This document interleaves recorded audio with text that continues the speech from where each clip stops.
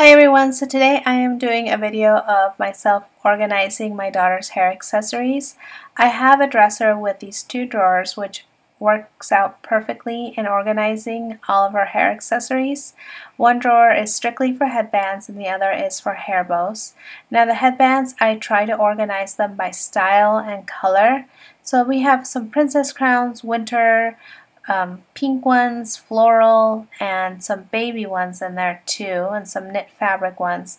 So I try to organize them sort of by style so it's easier in the mornings for us when we're trying to match our outfits. And one drawer holds all of them perfectly. The next drawer is my hair bow drawer. So I like to sew and out of all of my scraps of fabrics I always make hair bows.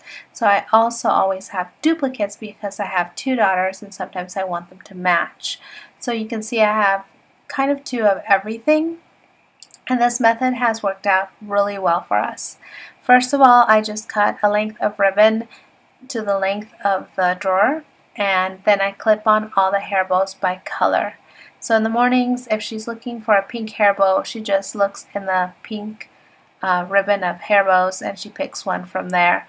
And if I want the matching, I'm not looking everywhere for matching hair bows. They're all nicely placed and organized. This method has honestly worked so well for us.